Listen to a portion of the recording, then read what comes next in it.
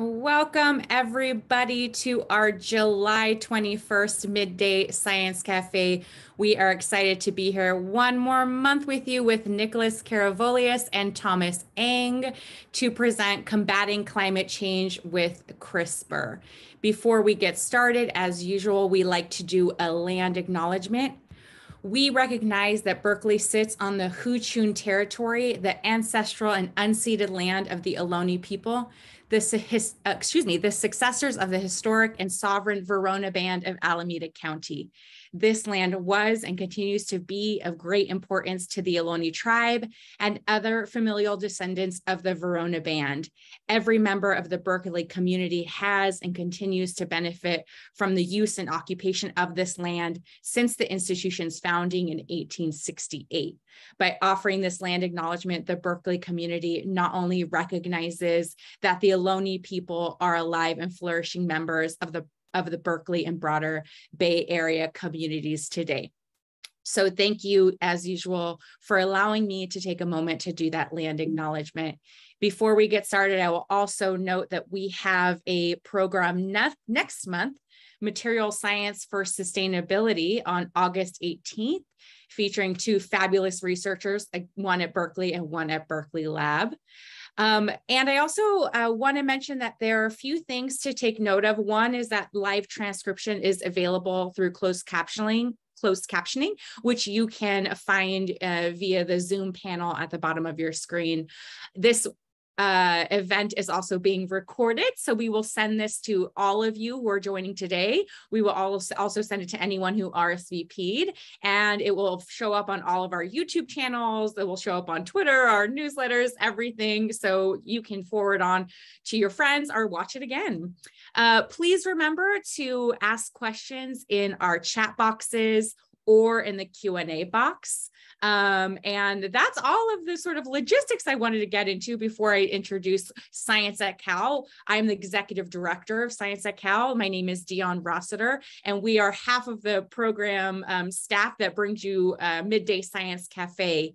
In 2008, Science at Cal was envisioned as a unifying effort to raise public awareness and understanding and appreciation of scientific research at Berkeley. And to realize this vision, we engage the vast Berkeley STEM community as science communicators and foster creative collaborations among campus and community-based groups who share a commitment to equity and inclusion and STEM education and STEM careers. Science at Cal connects UC Berkeley scientists and technology and engineers, researchers with the diverse community groups of all ages and backgrounds for science engagement and science learning, accessibility, inclusiveness, creative creativity, and innovation are all hallmarks of Science at Cal Event which reached tens and thousands of people annually. Throughout the years, Science at Cal presents ongoing all free outreach programs in STEM and other disciplines and helps promote other groups related efforts on campus to create new programs and new initiatives at Berkeley and in the community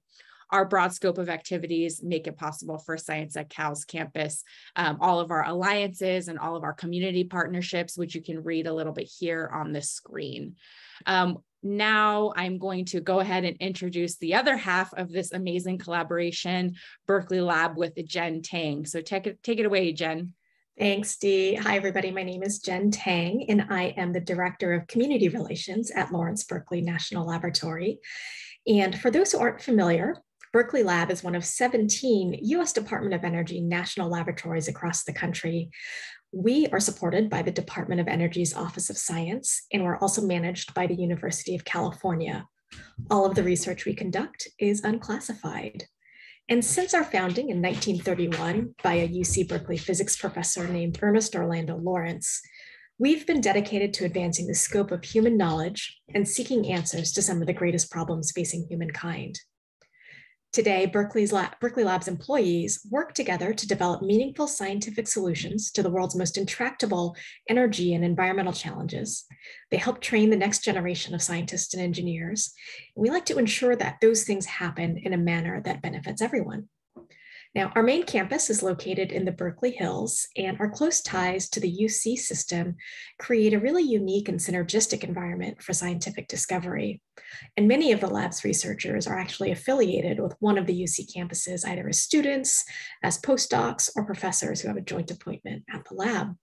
And we're especially fortunate to have a close relationship with UC Berkeley, and our institutions have joined forces to advance science across a number of frontiers. One of the main motivations, as folks might know by now, uh, for creating our Midday Science Cafe series is to share with you examples of compelling and complementary research from both of our institutions. So we hope you enjoy today's presentation on how CRISPR can help tackle climate change. Uh, Dee, let me hand things back over to you.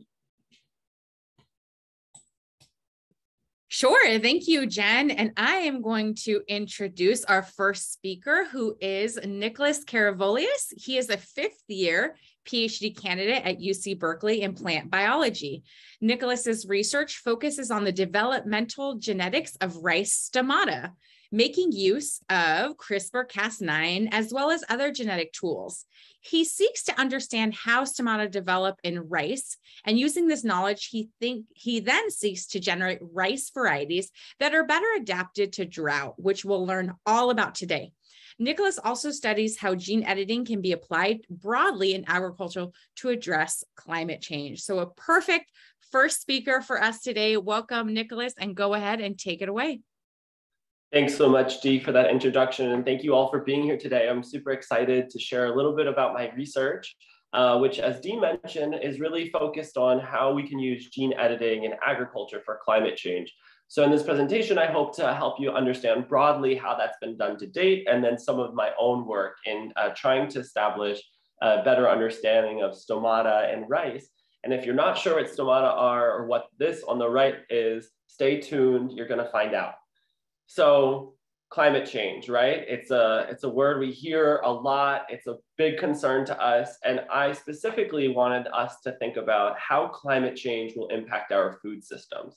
So uh, through years of studying climate change, we've come to understand certain environmental outcomes of this process. Uh, things like erratic rainfall, increased flooding, um, increased temperatures, and the aspect of climate change that I'm really focused on is increased uh, droughts. And so there are a lot of negative environmental outcomes that will manifest also negatively in agricultural systems. So we anticipate as a result of climate change that we'll have increased disease severity, we'll have lower yields of our crops and livestock, and we'll also have lower nutritive quality. So collectively, climate change stands to impose and is imposing really severe negative pressure on our agricultural systems. And with that really rosy description, uh, we actually have a lot of opportunities for and hopeful reasons for how gene editing specifically can help us address climate change in agriculture. So before I get into some of those examples, I actually want to help walk us through what is CRISPR. This is a word we hear a lot, you know, and it uh, has become almost a household term, but it actually is really incredible how it works. So CRISPR-Cas is a gene editing system that was first developed here at Berkeley, go Bears, and it works by using a nuclease. In this case, we're calling it Cas9. Now, these are molecular scissors that can go and make double-stranded breaks in the DNA. Now, this enzyme, the Cas9, can be guided to a specific region in our genes of interest using a guide RNA. And that guide RNA is highly programmable. We're able to use that guide to make the precise edits in genes that we're interested in studying. So in my case, I'll use them to study rice stomata, but researchers in a variety of organisms can use CRISPR-Cas to make double-stranded breaks in a very programmed way. Now, these double-stranded breaks cause uh, the cell to require a repair system to come into play. And through the process of this repair, we can have many different outcomes. Now, it's not important that you understand what all these words mean on the screen on the right, but just know that the process of repairing DNA uh, can introduce changes to the DNA that are desirable for researchers uh, who want to study how genes work and also make improvements in things like crops and livestock for climate change resilience. So what this means for agriculture is a range of incredible features and traits that have been improved through the application of gene editing. And so the, the four traits that most of the gene edits have converged on in agriculture for climate change have included disease tolerance, improved yields. Improving yields also means that we have to, we don't require as much land for agriculture, which is a doubly benefit. We have drought and salt tolerance, and finally, nutritional improvement. And as you remember, these were some of the ways that agriculture stood to be really negatively affected by climate change. And so it's really exciting to see that gene editing applications have converged on these traits. And they've converged on these traits quite recently.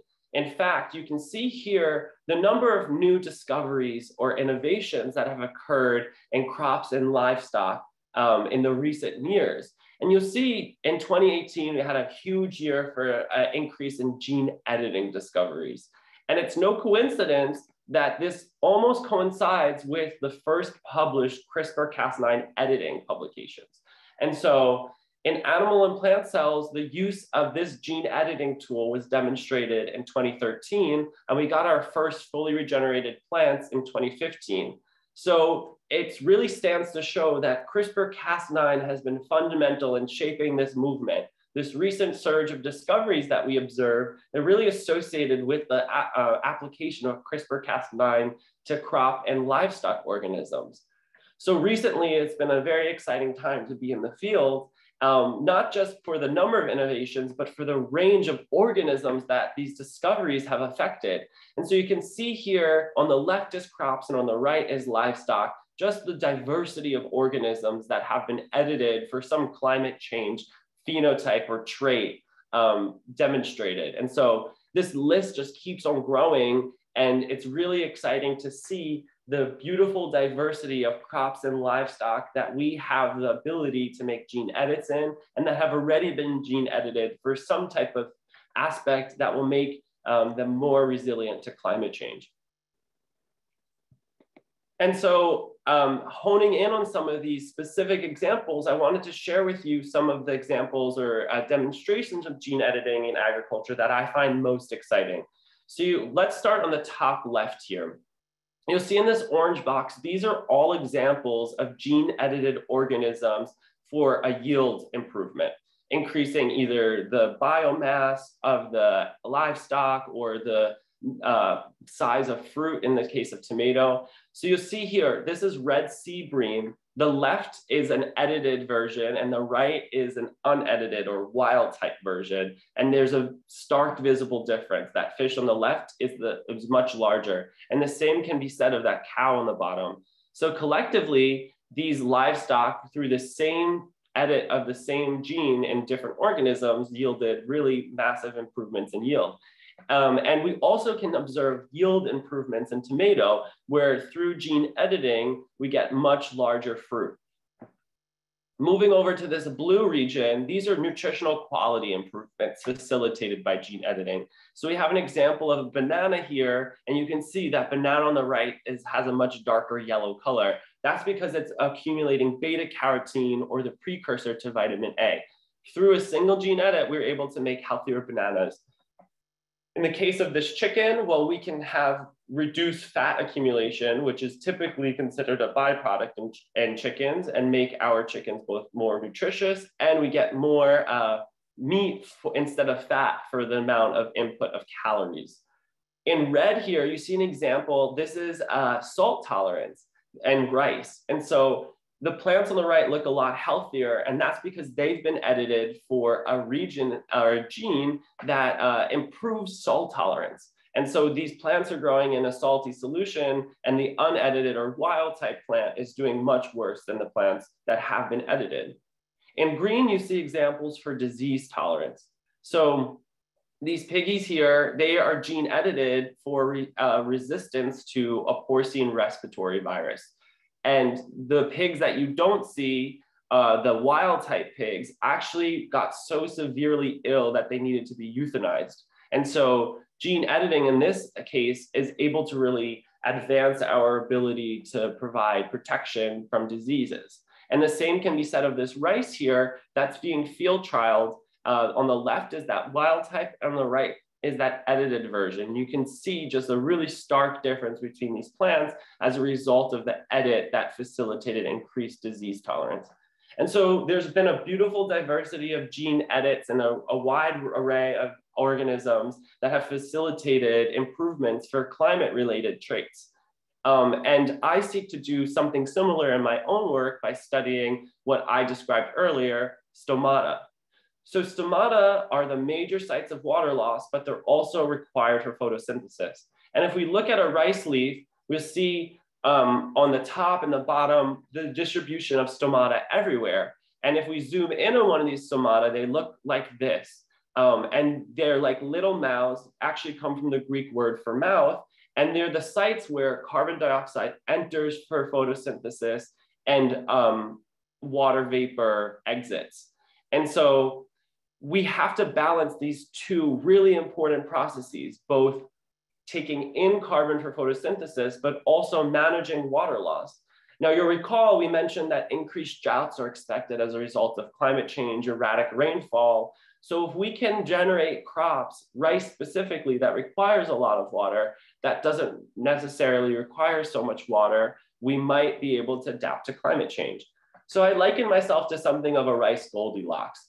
That's me up top, and I'm searching for that fine-tuned stomatal density, a rice line that has the perfect number of stomata such that they can optimize the trade-off between taking in carbon dioxide and releasing, uh, not releasing too much water.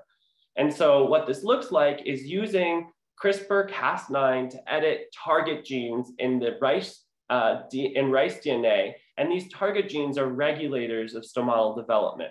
And so after editing these genes, I look at properties of the plants like stomatal density or gas exchange, the, uh, thermoregulation, which is how the plants manage their temperature and water conservation. So getting a little bit into the data, um, you'll see through editing these regulators or these target genes in, in stomatal development in rice, we're able to create differences in stomatal density. So that pink column on the right is wild type. That's what you should compare everything to. It's the unedited version. And you'll see that gr the green and yellow are both edited forms um, of these rice plants that have reduced stomatal density. That edit in stomagen or that yellow line is really tremendously reduced in stomatal density, whereas an edit in EPFL10, that green line, has moderate reductions in stomatal density. So after having this cool phenotype, we were curious about uh, what this would mean for other properties of the plant.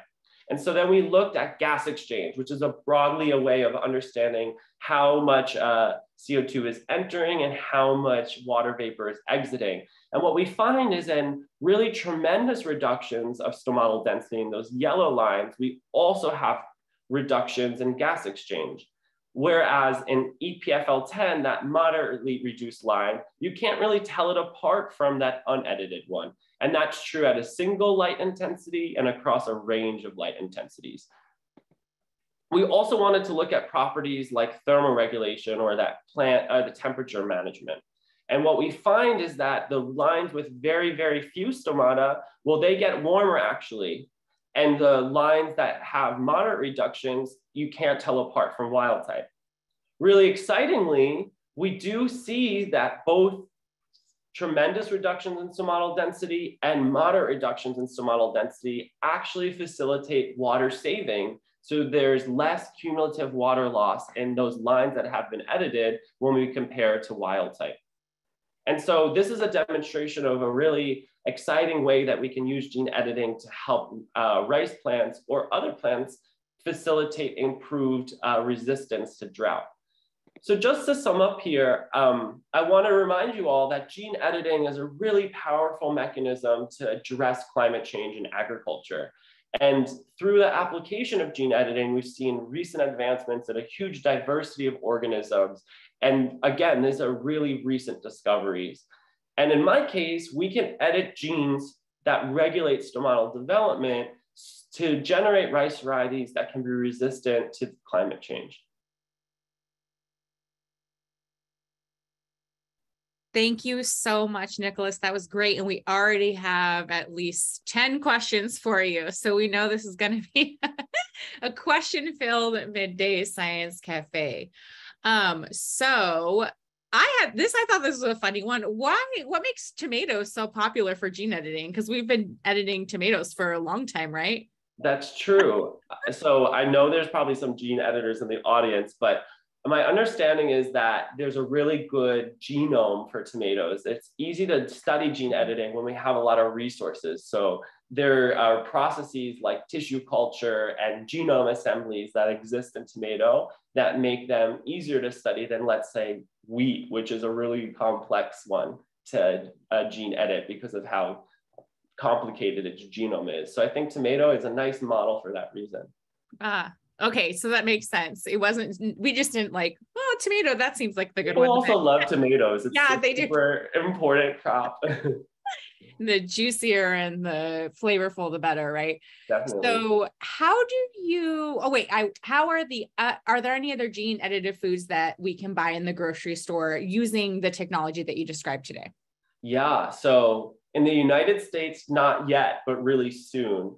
Um, there are some soybeans that are on the horizon that have a different fatty acid profile to make them healthier. There's a company called Pairwise that is making a delicious and nutritious salad green through gene editing. That's coming to your shelves soon, hopefully. In Japan, really excitingly, they approved some gene edited products. So again, the tomato, uh, there's a GABA uh, tomato. It ha has high levels of GABA, which is a, a, a purportedly good for your brain health.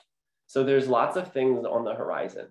Excellent. It's it's funny that we're talking about tomatoes too, because Science at Cal ha- has an entire lecture just on tomatoes. So we should put that in the chat at least if we can find that for folks. Um, the next question I think is is one that refers to your plot. So um, you know how you had the discoveries in 2019 to 2020, it seemed to go down. Do you have an idea for why the the discovery amount went down in 2020? Oh, maybe the pandemic. yeah, I, I think you stole my punchline. Oh. the pandemic really affected uh, science research. I don't know why the, the reduction happened from 2018 to 2019, but we can almost directly attribute what we see in 2020 to the pandemic. Hmm, interesting. I wonder what the results of kind of loss in discoveries across sciences because of the pandemic? That's a really interesting question. Okay, well, we're going to um, ponder that a little bit more, but we're going to hand things over to Jen and Berkeley Lab now. So thanks, Nicholas, so much. Again, wonderful. And we'll have more questions for Nicholas after we hear from Thomas. Thanks so much guys are making me hungry. I want like a tomato sandwich for lunch. anyway, thanks, Dee and Nicholas. It is now my pleasure to uh, introduce our next speaker, Dr. Thomas Eng. So Thomas is broadly interested in understanding the differences and similarities across microbes to better engineer them for applications in biotechnology. Thomas received his undergraduate degree from MIT and conducted his graduate studies at UC Berkeley. So I'll say it again, go Bears. And he is now affiliated with Berkeley Lab and the Joint Bioenergy Institute. And that is where Thomas uses CRISPR tools to domesticate all kinds of microbes. Uh, in his spare time, when he's not in the lab, Thomas enjoys spending time with his two cats, who maybe if we're lucky, might make a cameo during this midday science cafe session. Awesome. Thomas, let me hand things over to you. Thank you so much, Jen, for that very kind introduction. And I'm hoping for absolutely no hiccups today as I hit the share button on my screen. And I'm hoping that everyone is able to hear me. I need to move this chat out of the way. And great, so, so far so good. Looks my, great. Uh, Perfect. Thank you so much. Thanks again for that very kind introduction. As you guys know, my name is Thomas Eng. I'm affiliated with Lawrence Berkeley National Labs and the Joint Bioenergy Institute. Click. Now, uh, we heard from Nick earlier uh, in the previous talk about how we're using CRISPR to uh, really help uh, advance our productivity in agriculture. But and agriculture is a major contributor to climate change. And, and the other side of the climate change equation is, is our use and dependence on oil for many facets of our life. And while we may think of using oil when you go to the gas station to fill up that gas tank, oil has been used and is part of our daily life, and it has been for a really, really long time.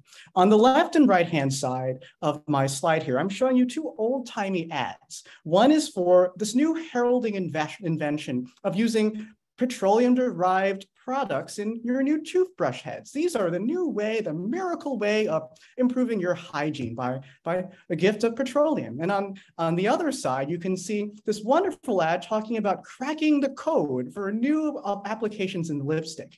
And even beyond these ideas of and, and use cases, um, this wonderful lobbying group in the center has put out this, this glossy demonstration of, of what are all the great uses for petroleum. And from this one barrel of, of crude oil, you can get many things, not just uh, personal hygiene and care products, in addition to filling your gas tank. But if you today are wearing a cotton poly blend shirt or just a standard polyester t-shirt, well, you have literally wrapped yourself in a crude oil derived product. And so just to reiterate, crude oil and petroleum derived products, they are everywhere. They are ubiquitous in our personal lives. And at the Joint Bioenergy Institute, our mission is to build the technologies that will enable the replacement of, of these petroleum derived products uh, for the production of gasoline, diesel, jet fuels, and, and the other common day, everyday things that, that we think about.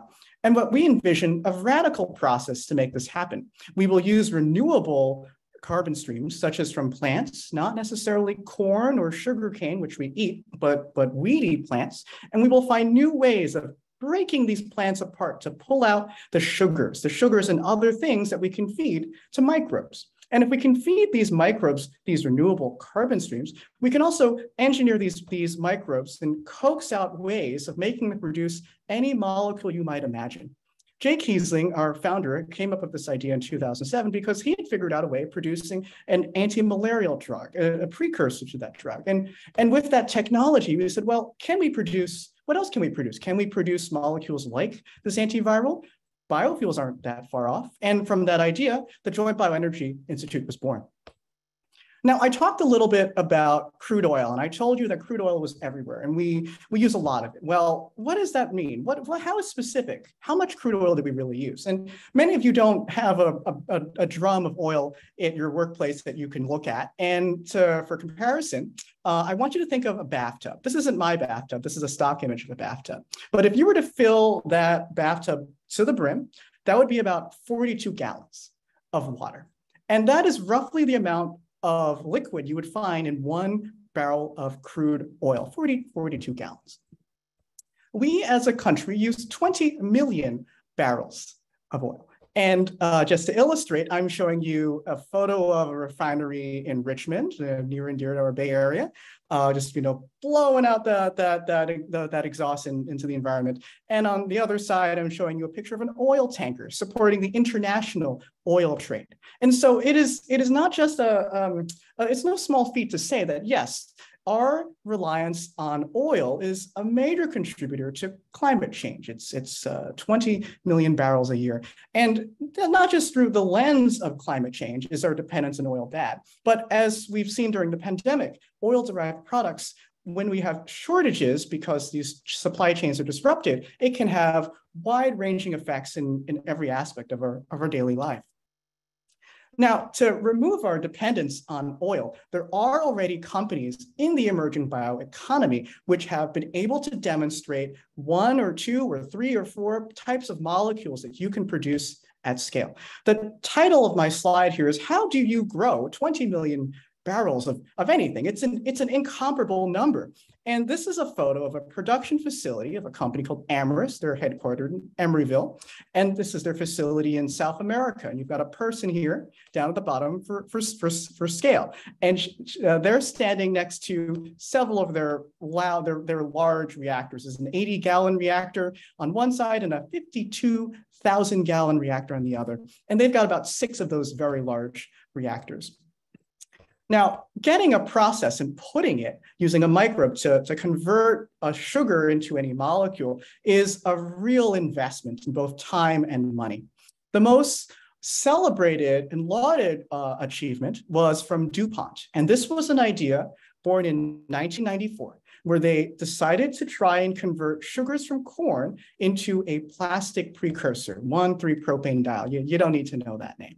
But it could be used in many processes, and it might be possible for them to make it with microbes cheaper than they could design or extract from commodity, from, from crude oil.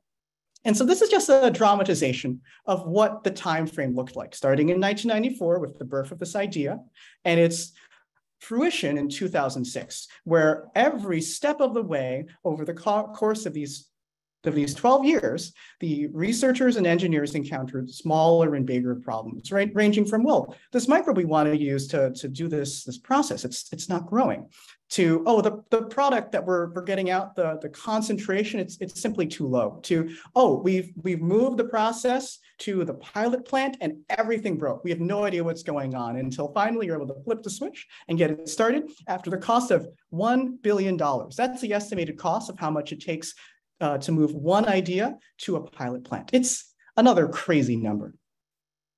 So what I've shown you before was this image of a, of a reaction. How would you turn corn and, and sugar into a final product. Well, when you're working with a cell, this sort of reaction is very simplistic. Cells are catalysts for, for move for, for changing one product into another product, but it happens in the context of all these competing reactions in the same cell. And this descriptor of a cell and its central metabolism can be overwhelming to look at in, in some of these diagrams. But here, uh, I have a wonderful image from Washington University where they've described cellular metabolism as a map, where you are being able to transit from one area to another. And that's a better representation of how we can think about when you feed a cell glucose or dextrose and what it could be converted into. And that's, that's the analogy that I'm, I'm going to work with for a few minutes. So please, please bear with me. So if we think of cellular metabolism as a map, Here's a standard map that you might think from, from Google as we're looking, uh, we're trying to think of a way of how to get from UC Berkeley to another place. If you were a driver, you might do is you might open up your phone and, and, and say, oh, Google says right now, getting to the Oakland airport, super easy, I'll, I'll, take, uh, I'll take 80, It'll, I'll be there in, in you know, no time at all. We are not the driver in this scenario. When we're trying to engineer a microbe to do something, you're not the driver in the driver's seat. The microbe is the driver in the driver's seat. And unfortunately for us, microbes love detours. They don't behave the way that we would want them to, the way that we would anthropomorphize that would, would that they're that they should behave. The, the, the microbe looks at the potential routes to get from UC Berkeley to the Oakland International Airport, and they say, "Oh, well, you know, sure, I, I see that that traffic is predicted to be on the uh, on the highway, but uh, maybe I'll, take another route. It's, it's not that bad. Or maybe um, maybe I want to take BART today. Or actually, maybe I just want to get my steps in and I'm going to walk because that that's what I want." We're using CRISPR because it is a great way for us to domesticate the microbe. And the way that we do this is that we use CRISPR to put roadblocks. We block off every single possible detour that the cell might want to take and force it to take one specific route. We do this with CRISPR interference. Now, Nicholas told you about how you can use CRISPR as a pair of scissors to make double strand breaks in, in DNA. This is a method which is a, a play on that. It's, it's a, little bit of a, of a more of a different way. Instead of using CRISPR to make breaks, we use CRISPR as a traffic officer. It is able to interrupt the ability of the cell to make the messages that are encoded from RNA. And by blocking its access to make those RNA molecules, we're able to totally block its ability to uh, produce the metabolic reactions that, it, that the cell would use as these detours. We express both Cas9 and specially designed RNA molecules. Those are the guide RNAs that Nicholas told you about. Those come from a plasmid. And when this Cas9 protein binds to its guide RNA, it uses that as a signal of where it should go. And with those information, the route is fully blocked. Our cells express 14 of these unique different of these guide RNAs. Um, and with those 14 marks, that was the highest record, well, it still is, the highest number of unique guide RNAs ever expressed in a single cell. So we take our analogy back of how CRISPR interference is used. And here's our, our metabolic map once more. And while the cell, without this rewiring, without the, the action of CRISPR, it's able to pick any path it wants. But with our CRISPR interference, we are successfully able to limit and reroute the cell. So it's only able to take the one preferred path. And that's what we're representing here with this bright red arrow going from flux into the cell of the, of the, of the feed of sugar and out into the final product that we, that we want, that we have decided. We demonstrated this work for a bioproduct, not uh, not the, the jet fuel that we talked about earlier, but we needed to demonstrate that this technique could work on anything. And so we picked a renewable dye as an alternative to indigo. When you use indigo to dye clothes, such as blue jeans, not only do you have to use a large amount of water, but you use a lot of carcinogens in that dyeing process. And so indigo iodine, this alternative to indigo, is a really compelling target to think about when you want to demonstrate a new biologically uh, conversion method. Uh, on the left-hand side, you can see an example of some indigo iodine we've produced in lab. And in the middle panel is our demonstration of the CRISPR technology being applied to a microbial process. On the uh, left-hand side are our CRISPR engineered strains. You can see a more blue color compared to the right-hand side. Those are labeled control. And when we scale this to stirred tank reactors, these are the format that industry uses. So you think about those big plants of 62,000 liters, these are the same parameters that they're thinking about. And we're able to demonstrate that the rewiring that we have used on the lab scale, it still holds under the simulated industrial conditions. Looking forward, there's a lot of interesting routes that we can take. We were the first to demonstrate that this technique was even feasible. We used a new microbe, we used a new target, we used the new techniques, but there's always, there's always room for improvement. The metaphor I gave you was that uh, we had put up roadblocks, that CRISPR was being used to, to say, oh, this road is, this, this area is detour, you, you shouldn't come here. But we can also use CRISPR uh, in the way uh, similar to what Nicholas talked about is uh, to physically remove those rows and pull them out completely. Because you always know people don't always obey detour signs. And in the same way, can we make the cells uh, more compliant with the things that we're asking them? And while we have shown you this process works for a renewable dye, we're currently working on applying our same strategies to produce jet fuels with the same uh, uh, properties. The microbe that we talked about was fed glucose, but when you extract plants, you get a lot more out from there. And so can we really demonstrate that this process works with a large stream of, of feeds that we can use? So those are just a few ideas that we're moving forward with. And uh, I'd love to thank everyone in, in our group who worked on this wonderful project. Thank you so much, and I'm happy to take any questions. Awesome. That was a really fantastic presentation, Thomas. Thanks, um, so the, yeah, the questions are coming in hard and fast.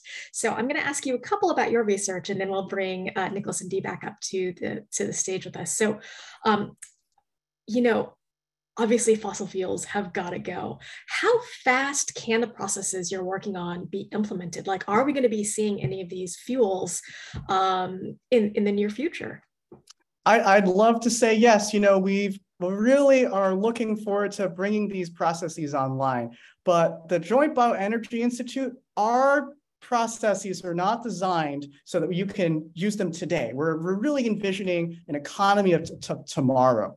Currently, uh, no one is producing biofuels, bioethanol, using renewable carbon streams we're talking about. The processes today still use corn and sugarcane for the most part. And so I'd love to, we, one of the big things that we're doing at JBay is we're lo we love to bring in industrial partners and say, hey, what part of these processes can you start thinking about? Can we, can we get you to start thinking about using renewable carbon streams? Do you want to use the microbes that we're using? Do you want to use the breaking, the breakdown technologies that we're using? And so the, our uh, federal government is very invested in bringing these technologies on online. But I'd say that these are really long-term strategies so far. And I, I think continued investment from the federal government will help speed those processes along. Got it. Thanks. And so, you know, speaking of corn, growing corn right now does require a lot of fossil fuels, you know, in the form of pesticides, maybe fuel for the tractors, et cetera, et cetera. Um, is that considered when evaluating the, the footprint of, of these options? Absolutely, absolutely. So a component I didn't have any time to talk about are something called life cycle analysis and techno-economic analysis. And when you think about the feedstocks that you use for a process, you have to envision, okay, well, what is the cost of growing the crops in terms of energy to uh, run the reactors? If there's fertilizer applied, usually you don't want to apply any fertilizer for the best analysis. How far do you have to transport the materials? How much effort do you have to put in to extract the final product? Product and what is the market sale price of these things. They're very complicated analysis and they really allow us to say, where's, where are the, the sensitivities for a process like this? How do we make a process that we've developed competitive with the existing market products? Got it. That makes a lot of sense. Thank you. Uh, well, I think we're going to get to the questions that we've got in the chat and the Q&A. So I'll ask you to stop sharing your screen. You stay right here. And I am going to invite Nicholas and Dee to join us. Hello and hello. hello. All right. Well, both of you really, really compelling and fascinating uh, presentations. Um, so we, we've got a ton of questions um, in the chat, and I'm trying to think of a good question for us to start with. Dee, I don't know if you've got one at the top of your list. Um, but yeah, Yes. I'll start with sort of there's a, a, grouping of questions around sort of the understanding of the difference between CRISPR gene editing and GMO, or are they all lumped together? So could we start there? Um, what's the difference between CRISPR gene editing and GMO, or are, does GMO encompass CRISPR gene editing? Yeah, I can take that question if it's all right. I'd love to keep these things separate. so GMOs have gotten a terrible rep and we don't want to mix gene editing into that. So you learned a little bit about gene editing today. We can use guides to make precise edits in specific genes of interest, right? Um, GMOs function by a really different mechanism. And so uh, I'll give you an example of a GMO that's the most widely used, and that's BT corn. So BT stands for Bacillus thuringiensis, and that's a soil bacterium that has a gene uh, that encodes for uh, insecticide resistance. So we move the gene from the soil bacterium into corn, and now that corn plant uh, can resist these insects, lepidopteran insects that really are harmful to the well-being of that corn. So that's an example of a transgene, right? We move a gene from one organism that's incompatible with, wouldn't ever cross-pollinate, let's say, or that gene would never end up in corn by itself, and we moved it to give it a desirable property. That's a GMO. In my case, you know, the rice lines that I developed just have a small little modification in the DNA. Um, so it's entirely native DNA, no new gene was introduced. And from a regulatory perspective, these things are wildly different. And so gene editing policy for agriculture is really emerging. But what we're seeing is uh, many nations are making the decision to say, if you have a gene edit, a small mutation, you actually don't have to go through a stringent regulatory process like we would for GMOs. And so scientifically and from a kind of a political perspective, they're quite different. Thank you so much. Thomas, do you want to chime in with anything else or do you feel like he he got it? Oh, it's it's a great answer. You know, it's okay. it's uh if you think about agriculture, the only thing that hasn't been even if you if your plants have uh, farmers have been modifying plants slowly for thousands of years. You could say that the only thing that hasn't been modified is the avocado, which we we still just have not modified at all. But beyond that, you know, it's it's a really interesting question to think about. Oh, I love that little piece of trivia you gave us there, Thomas, too. I didn't know that. so eh, there's, of course, there's controversy and fears and uh, about unintended consequences of GMOs. Um, does your understanding, both of you, kind of, do you feel as though that those fears don't need to be, no aspects of that needs to be concerned in this space as well? Or do you think that those fears um, and misunderstandings um, are misplaced as it relates to GMO as well? So I'm definitely not in a position to tell anybody what they're allowed to be fearful of. And it's rightfully so. You know, this is a eating is one of the most intimate processes. We do it hopefully three times a day. It's something cultural, spiritual. So if people are fearful around technology, uh, it's justified, you know, because food is sacred. Um, that being said, from a scientific perspective, I don't think that gene editing imposes any type of new risk or anything that's worth being fear, fearful, fearful of from a bio, biological perspective. Um, these products still have a regulatory process associated with them, right? And so it's not like they're just gonna willy nilly end up on your dinner plates. And so I think the fear is justified, but as is from a scientific perspective, I'm not concerned about any of the causes of gene editing. Wonderful. Thank you. Jen, there are a few more questions around this type. So I'm just going to keep getting through those so that we can get to the other ones. Does that sound good? Yeah. Okay. So as with um, GMOs, does anyone own the rights to these gene edits? I think that's a really interesting question. Right. So this takes us back to regulation.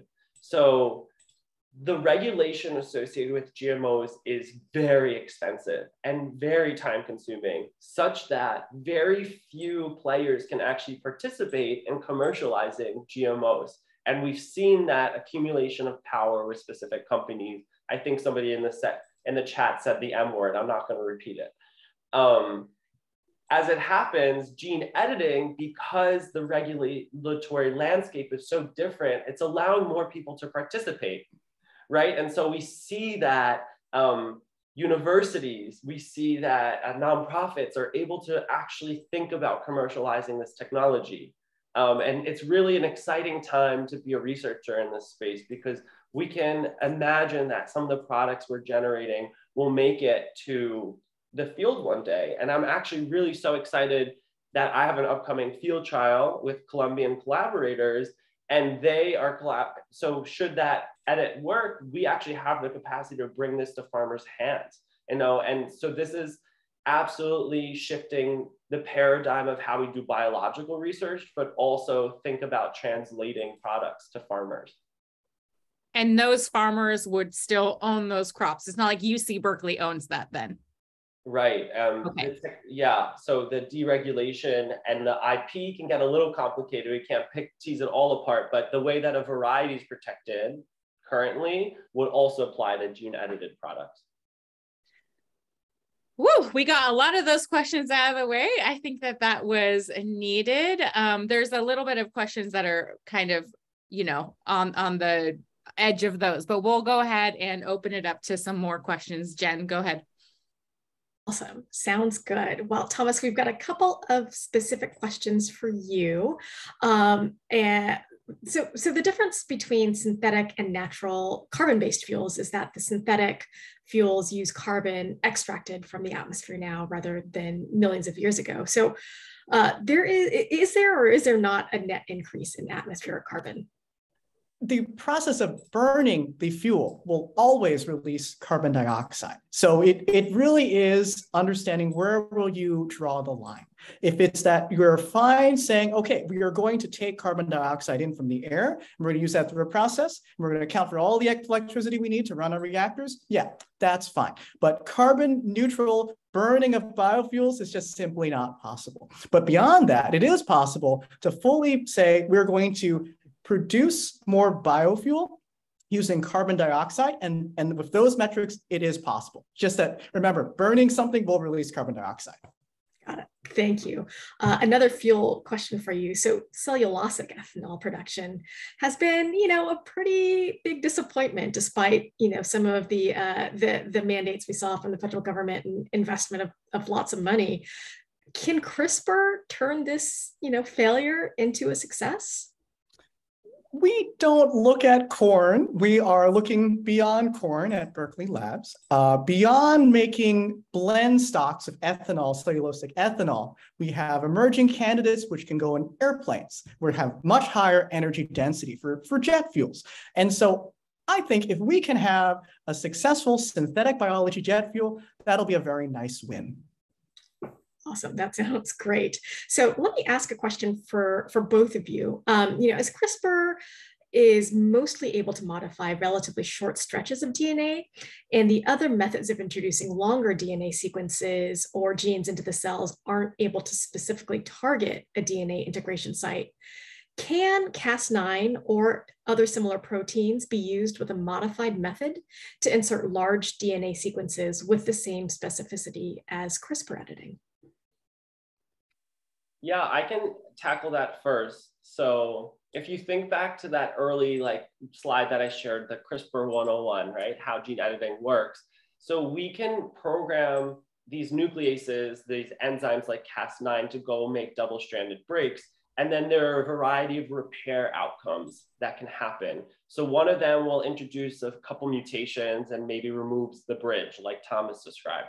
But we also can leverage a repair mechanism called homology directed repair, which is a mouthful, but basically you can in insert a gene of interest or stretch of DNA that you're interested in studying to a precise location using an, a native cellular repair mechanism.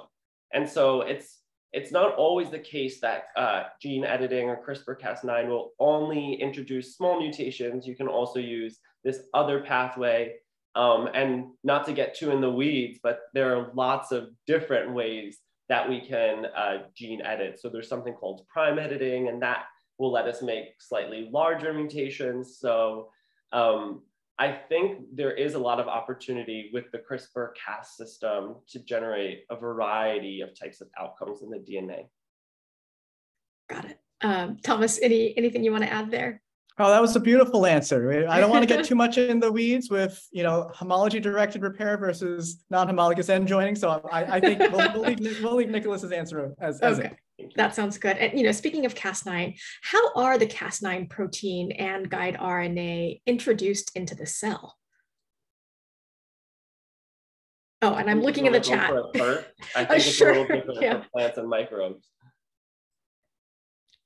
I, oh, I I, I, can go first. Uh, we use a technique called uh, transformation, which allows us to use a little bit of electricity and it, it, shocks the cells. And that process of electrically shocking the cells, somehow, we don't really understand this, enables them to take up bits of circular DNA. And that circular DNA encodes both the Cas protein and the guide RNA. Nicholas, it might be a little different for some of your uh, oh, agrobacterium. Yeah, definitely different. Um, we're not so lucky we can't just electrocute plants and get some uh, DNA into them, but uh, we can use a couple different methods. So one of them is called biolistics, and it or it used to be called the gene gun, and we literally used to shoot DNA particles at uh, plant tissue coated in gold, and that would enter the cell. Um, we've got rid of the gun part, but now it looks like a little chamber. That's one mechanism. I think the most widely used mechanism is called agrobacteria mediated transformation. So there's this naturally existing bacteria that infects plants and actually is able to transfer some of its own genetic material into plant tissues. And researchers were, discovered that and leveraged that natural process to insert the genes that we were interested in studying. And so a sign of an agrobacterium infection in plants is like a tumor. You literally see like a massive cell growth and you can see it on trees. So that's some homework for you. Take a walk around and see if you can notice any agrobacterium infections. Well, whoever asked that question, I'm glad you did because that was a question I had as well. Those answers were, were fascinating. Thanks both. Uh, let me turn things over to Dee. She'll ask some more questions. Yeah, and that actually goes into a good question um, that was written about how do you even pick the targeted genes, Nicholas? Um, so what's you know what specific change to the targeted genes is accomplished when you're using CRISPR? Um, is the gene being inactivated? So can you kind of just talk a little bit about the targeted gene? Right. So picking targets, I think, is the really fun part because there's lots of ways to do it, and all of them are valid. So I can tell you a little bit about how I picked the genes that I studied. So the gene that I studied was studied in another plant, Arabidopsis, that's really easy much easier to study and they found this gene stomagen that had involvement in this process. And then i was curious about if they would have the same role in rice. So i used information from other organisms to study my gene in rice. And then it also happened that there are two copies of stomagen. So sometimes you get genes that look a lot like each other but have different roles and so i studied that second gene in rice also so that was kind of based on previous information people can also do really unbiased ways of picking genes. They say uh, they can they have lots of ways of picking genes that maybe don't come from previous information. And so I think selecting targets um, is a fun part of what we get to do as researchers. And then you get to figure out many years later if it has anything to do with the trait you're interested in. Um, Right now, we're focusing on picking genes, or my focus is on picking genes who, when you remove the function of them, when you knock that bridge out, you have some benefit, you know, but you can also imagine that you could pick genes that you might want to amplify the performance of or increase the amount of. Uh, so depending on what your trait is and what the outcome of your edit is, you can select genes. Very cool. Have you, um, and this might be somebody in the field asking this question about bryophytes? Is that familiar to you? Yeah. so, did you look at the genes in the bryophytes and and how they can survive droughts? Yeah. So bryophytes have really different types of stomata than uh, rice or grasses or most crop species. So the stomata information that you get from bryophytes isn't super helpful, but it's a great question. And I think you're getting at a really amazing way that we do plant biology, which is com- by comparing, you know, these organisms do really well under drought. What, what do they have going on? And I think one example that I love is the resurrection plant.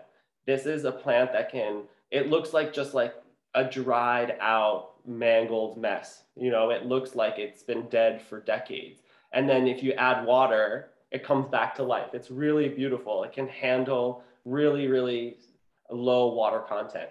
And I think uh, there's a group of researchers that are dedicated to studying how does it do that? Um, because it's interesting, one, but also if we could understand that process in that organism, maybe we could transfer some of those mechanisms into a plant like rice. So I would encourage anybody who's interested in bryophytes to think about them really hard because there's a lot that we can learn from them. We Wasn't have a case. Well, oh, go ahead, Thomas. I, I remember there was a case of someone resurrected one of these bryophytes from, from ancient Israel. It was like 4,000 years old. They got four of them to germinate. It was a very high, high profile paper a bunch of years ago. Oh, very cool. Another piece of trivia, Thomas. I'm full of trivia. Need to bring you along. Jeopardy. go one day. um, yeah, actually, I will mention that we also have a, a, talk that's in Spanish on doing just that with liverworts. So maybe we can, if any Spanish speakers are um, in the audience, we can send along that that link as well um, about kind of reviving the research around liver liverworts. Warts, excuse me. Um, okay, so another question for you, Nicholas, around sort of testing to see if that stomatal reduction actually changes the nutritional value of rice. Have you guys looked into that? So we have some field trials coming up, which will actually give us the harvest that we require to uh, be able to test. I think people are really always very concerned with nutrition, rightfully so, because that's the product, you know? And there we have good systems in place for being able to study nutrition, but also what's really exciting about using CRISPR is that we're modifying the expression or removing the function of a gene. You know, so if you think about the plant as a collection of proteins, you just remove one thing from the collection doesn't necessarily fundamentally shift what what is rice. You know, we're not just redefining what rice is or that consumed product. We're just removing one thing from a collection of and the beautiful array of proteins still remains. And so there's really good reason to believe that there should have there should be no nutritional implications for the types of edits that we're making. Excellent. Thank you. And I'll hand things over to Jen. Thank you so much. So, Nicholas, it was interesting to hear how you selected the genes that you're working with. Thomas, I'm curious to know, you know, th there's got to be like a million different microbes out there. What microbe did you use for the process you're working on and why did you pick it? Yeah, that's a great question. I didn't get uh, a chance to talk about it. It's just it's a very we, we thought of long and hard about this. So the reason we used a microbe called Pseudomonas petita, which is from the soil. Uh, it's not one that's traditionally worked on in industrial microbiology uh, because it's not as much as known about it. But the reason we picked it is that this microbe is able to consume, is able to eat more sources of carbon, more things beyond just glucose um, and the more standard sort of sugars that are currently used. And with that sort of inherent capability, that's where we decided to do all of our engineering. Got it. Fascinating. Um, and how well i'll save my questions since i know where you work and i can ask you later. I'm going to ask some of these audience questions. Uh, and i did see somebody in the in the chat say let's get into the weeds. So i'm going to ask you a bit of a technical question. Would you be able to edit microorganisms to solely produce bioplastics and by that they mean pha uh, by expressing the gene responsible for the production of those plastics?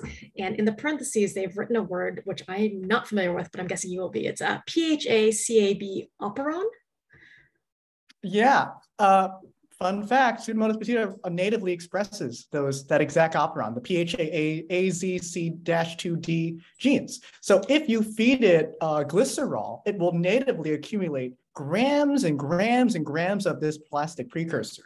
There's active research on this uh, in Germany at Aachen University already. We're not interested in the native products. We want to, we, we, we're dreaming of you know, non-native products, things you have to do a little more engineering. Got it. Got it. And um, actually, there's there's a shout out in the chat for you, Thomas. I'm going to say one of our listeners, Ron, said, "Thank you, Thomas, for describing the amazing work of your group."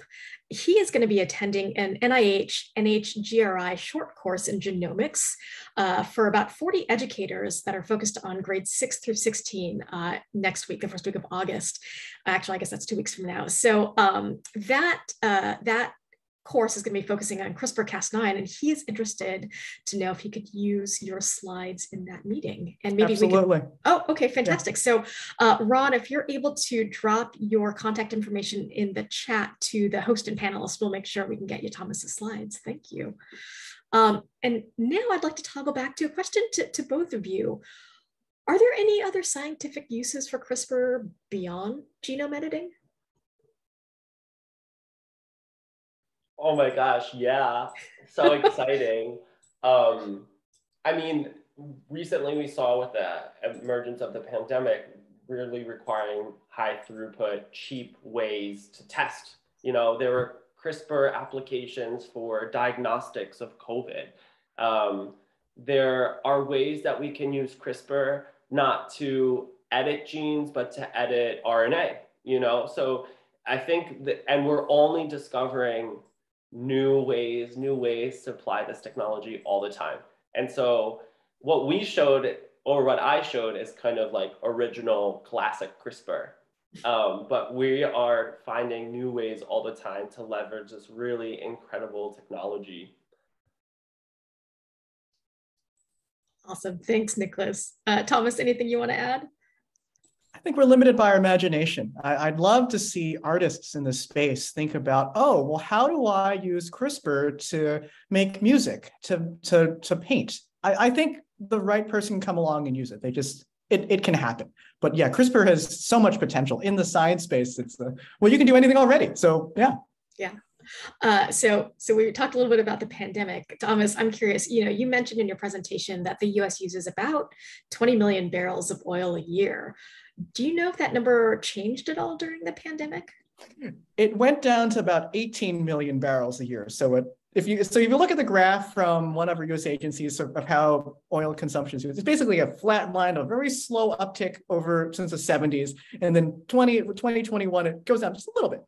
That's just you know domestic car use and but no, the other petroleum derived products we're, we're still you know trying to use as fast as we can. So tiny little blip and it's come right back. Got it. Got it. Um, so uh, a question just popped up in the chat. Somebody's looking for a recommendation for a good reference on gene editing that sort of hits at maybe like the advanced undergraduate level. I don't know if either of you have any recommendations for some, some foundational learning. Uh, Gene, Nick, Nicholas? I have to think about that one. okay. If you guys think about it, maybe we can drop those suggestions in the chat toward the end. Um, uh, let's see, let me go back to our list of questions. Uh, so um, this one I think is for you, Nicholas. Would controlling, I, I, think, the intake of your research and controlling the water release, would that not also affect the O2 being released to the environment? I think this person was interested in seeing whether this might have a negative effect on the environment from that aspect. Yeah, that's a great question and super astute observation, right? These pores are where O2 is also released, and I really focused on CO2 going in and water coming out. Um, O2 is uh, produced in the process of photosynthesis and uh, will be released just because of uh, concentration gradients. So if it, it's accumulating in the, in the plant, there's a high concentration of O2 inside and it'll naturally diffuse out. So those concentration gradients will still exist. It might be that the difference between them gets a little bit higher because there are fewer sites, but ultimately that O2 is going to still be released. And photo, as long as photosynthesis is occurring, O2 is going to be getting produced and getting released to the environment. Um, there'll just be fewer sites for release. Got it. Thank you. Dee, I'll hand things back over to you. Yeah, and there's a question that's similarly related that when you're reducing the number of stomata in rice, how do you make sure that the plant can still take in enough CO2 and photosynthesize efficiently? Um, you know, how do you find the perfect balance when you're doing that? That's a great question. And so I think my research began to answer some of those questions. You have really dramatic reductions, you have moderate reductions. What does this look like for gas exchange? In one case, we see, oh, really reducing stomata will reduce gas exchange. But moderate reductions, you see the same levels of gas exchange. And so we were curious about how does that happen? There are fewer sites. And so we looked at how the morphology of those stomata. So not only is it are they the sites for gas exchange, but they can also modulate how open they are. So if the food is really delicious on the dinner table, you might have like jaw dropped, shoveling as much as you can into your mouth. Whereas if it's uh, you're a little not so stoked about it, you might be a little bit shyer, only opening your mouth a little. Stomata the same way. They'll open really wide to just how much uh, CO2 they require. And so what we actually found was um, our lines had a, a larger pore area um, in both reduced lines. And so they were making adjustments to make sure that they could still get the same amount of carbon dioxide. Got it. And then somebody made a, a, kind of observation that the reduction in water loss is pretty moderate between the gene edited and the not edited rice. So is that actually significantly going to address water shortage or just something that we're you're aware of? Yeah, so that water conservation phenotype was over the course of a week in the greenhouse. And so what mm. might look like just a few mils multiplied by hundreds of plants in the field is actually really sizable. And not only is it this water conservation phenotype, but we're excited to test these lines in natural drought conditions. So do they fare better in the field um, if there are natural types of drought? Um, can they perform better? And um, what's really heartening is that if we look at naturally bred lines, so not CRISPR lines, but just through conventional breeding, we see that uh, these drought adapted lines are actually reduced in stomata to the same extent that my lines that have been edited are. So there's good precedent for this being a, a direction that we want to take for drought adaptation. Great. I think that that's a really important kind of thing to know that something that looks so insignificant can have huge implications, especially because we're producing so much rice. That's wonderful. I, I want to make sure we ask this question before I forget. It just came to my mind because, you know, CRISPR um, is such a new technology. It's not like we all went through elementary school or high school learning about CRISPR specifically. This is something that kind of in college and as you guys were going through grad school, how did you even get to where you are today, being kind of these experts in this space? What did you what, what did you major in um, when did you get introduced to crispr kind of what what drove your career path because i know typically we have some young scientists in the audience um, and just want to make sure that we they have the tools kind of the know-how the background of what your what the two of you how you guided your way through through your education so maybe thomas can go first Sure. Uh, I remember Jinek et al. Uh, that's the paper that, that Nicholas uh, referenced. It was one of the first papers looking at CRISPR and how amazing it was. Um, before CRISPR, there it was a sort of a holy grail of, of how would you be able to edit any gene locus anywhere in any organism. And there had been a lot of flash in the pans that didn't really, really turn out. There were TALENs and other zinc finger nucleases. So it was, for a long time, we were very cautious about it. But my background is that I studied genetics in uh, grad school and biology in college. So I've been a fan of recombination DNA repair for, for quite some time. And uh, using CRISPR has been a great thing. It's uh, taking our old technologies of how we knew homologous recombination would work. That's how we describe how cells repair uh, events after DNA breaks, and using that using CRISPR than any other microbe. I don't know if I've really answered your question, but, but basically I've been doing biology for a long time. Wonderful. I have a little bit of a different journey. So my background is actually in agriculture. I was really inspired by food systems. I was really inspired by how biology can interact with society in this really specific way. Uh, so I studied agriculture. I studied everything from soil health to plant diseases to agribusiness and farm management. I've worked on farms. I used to work directly with growers uh, in like a kind of like an extension way, so supporting growers in their production. Um, and I got to dabble in rice breeding, so conventional breeding program, and was really excited about that because it felt really direct to consumers. Um, and it was impossible to be a biologist and not hear about CRISPR, I feel, because it really was, it felt so exciting to us. And so when I made the decision to come to graduate school, I knew that I wanted to be at the home of the innovation because I was excited about varieties, advanced breeding, supporting agriculture. And I just felt like this was going to be a new tool and a really exciting mechanism to get there. So I think for the people who are thinking about their careers, just the advice that I can give is be passionate about what you study and you'll notice what you think is going to be exciting. There's so many worthwhile things to study um, and it doesn't have to be CRISPR, but as long as you're passionate about it, I think you will have a at least fulfilling day to day.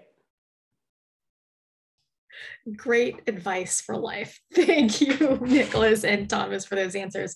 Um, the questions are, are continuing to roll in. So we've got a few more. Thomas, this one's for you. Can CRISPR also be used as a tool to reduce the use of other fossil fuels like coal and natural gas?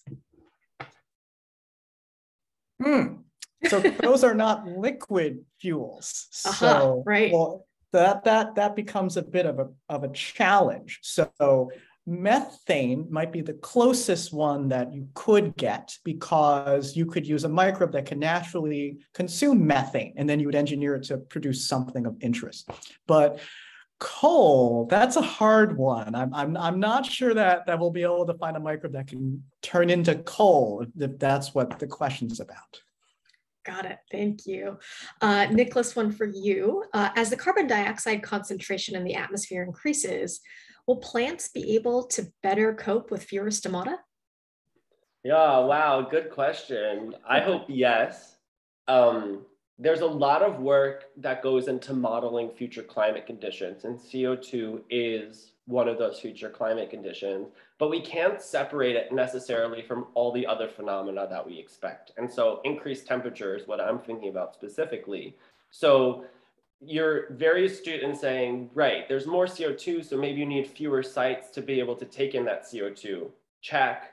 Higher temperatures, well, these sites are where water vapor leaves from, and that's called evaporative cooling, the same way that we sweat, plants use their stomata to sweat out their heat, right? And so now we have another trade-off between taking in CO2 and this evaporative cooling process. And so it's impossible to say that there is one ideal stomatal density that's going to save us all, you know, that's going to be the perfect amount of CO2. And plants know this as well. And we see plants are quite dynamic in how they accumulate stomata. So over the course of a plant's life, we see in rice, if the plant is experiencing drought, the new leaf that emerges during that drought will have fewer stomata. Um, uh, plants can also be adapted. So there are rice plants that grow without being flooded. They have fewer stomata than the plants that have grow in flooded conditions. And so you're really astute in saying that stomatal densities can be adapted to a range of environments. And as long as we continue to produce rice globally, we're going to need that diversity of stomatal densities and morphologies to address that, uh, the multiplicity of environments that rice grows in. Got it. Thank you. Okay, so maybe this is a question you both can answer. Uh, one of our one of our viewers has heard of DIY CRISPR projects. Um, is there any danger of using CRISPR for, for a home project? Um, and I'm going to hold this person to the next sentence they wrote, which is, I promise not to experiment on the neighborhood kids.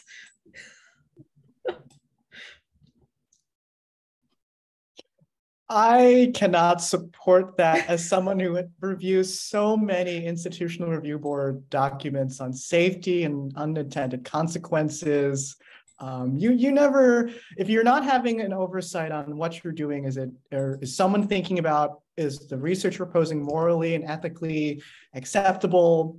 Well, you're on your own. So I, I personally I, I I personally can't endorse that.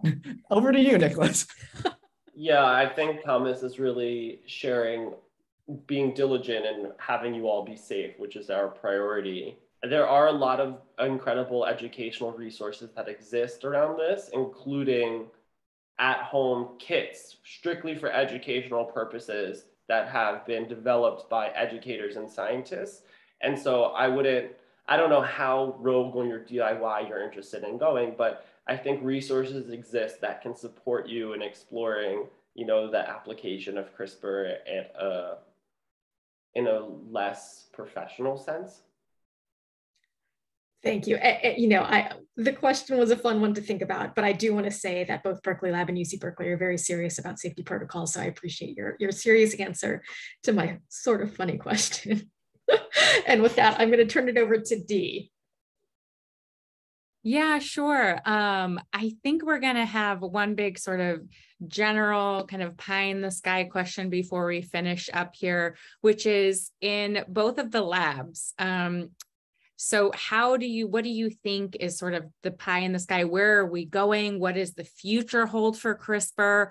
Are there new ways that will be used to address some of the world's most pressing questions as we've, we know that they're addressing so many already with different kinds of cancers and diseases and agriculture and climate change. Um, so where do, what do you see as, as where CRISPR is going or where it could possibly go?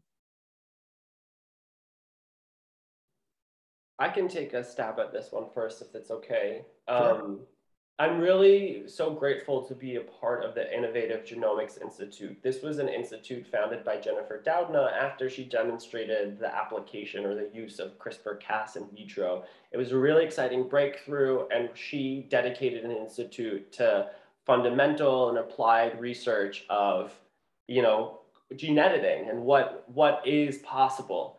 And I think the technical, technological innovation is limitless, right? And that's super exciting, especially to me as a technologist. But I think the aspect that I'm really excited about is how we can bring this to farmers' hands, growers' hands, consumers' hands. Make this a technology and a household name because I think there's a lot of power in this technology. And so the pie in the sky for me and hopefully, what I get to work on in my career is really democratizing the use and distribution of gene edited products. And so, the Innovative Genomics Institute, beyond being a center for innovation and research, is also thinking about how we can innovate in technology transfer. And so, for example, I recently got the opportunity to visit at the Philippines by invitation of the Filipino government to work with their gene editing regulators and how they would actually be able to review applications for gene edited products. And so I think uh, the sky is also the limit in terms of bringing uh, this technology to the hands of farmers and consumers. And so we'll, we'll continue to see a lot of incredible technological innovation, but I think we'll know we made it when we see gene edited products that increase sustainability, that support smallholder farmers, that increase equity actually come to fruition. Yes, thank you. It looks like. Yeah, so I just got a chat from Thomas. Unfortunately, his computer just crashed, which is good that it crashed now and not earlier. He uh he's trying to reboot his computer. Oh, oh he may be Yay. back. Yes. the whole thing went purple. It was very well we i was i was just about to give best regards on your behalf but i'll let you actually maybe answer that question and do that yourself uh, yeah, it's it's. Uh, I, I think CRISPR has the, li- the limits of, of CRISPR is the limit of biology. Anything that we can think of for for biology will likely be enabled by the CRISPR tool set. You want to engineer a microbe, CRISPR is going to be the way forward. I, I think today's talks are an excellent example of that. You saw two very, very different applications. If we can think of it, likely CRISPR and biology can help us. Awesome. Wonderful. Thank you. I am sharing this screen because we have one more summertime midday science cafe ready but we also have we're already working everyone on our fall series so don't fret don't fear we have september astronomy we have a midday science cafe coming up in, in the fall on animals we've never talked about animals so really excited to do that and electric vehicle infrastructure and the policy around that. Jen, am I missing anything? No, I think you've got it. Um, I'll just say thanks again to Thomas and Nicholas for fantastic presentations the audience as always you guys ask amazing questions i wish we could get to them all we we try our best uh, but thank you for continuing to show up and, and ask those great questions. I'll also say you can always stay up to date with the research coming out of both of our labs uh, and campuses. So scienceatcal.berkeley.edu and lbl.gov and with that i think we'll just say see you next month. And thank you again. Thank you everybody panelists and audience